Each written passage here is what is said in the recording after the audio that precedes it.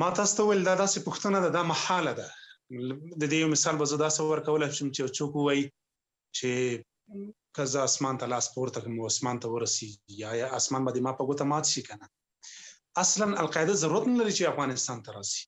ځکه د القاعده لپاره ډېرې سیمې فراخې دي په عربي نړۍ کې په نورو هیوادونو کې هغه ډېرې سیمې تر خپل حاکمیت لاندې راغلي دا پښتنه اصلا محاله د القاعده افغانستان ته ناراضي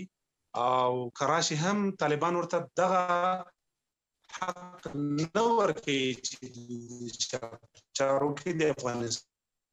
افغانستان د خاورې مداخله وکړي په دې تړاو که نورې پوښتنې نورې وشي په نور موضوعاتو خبرې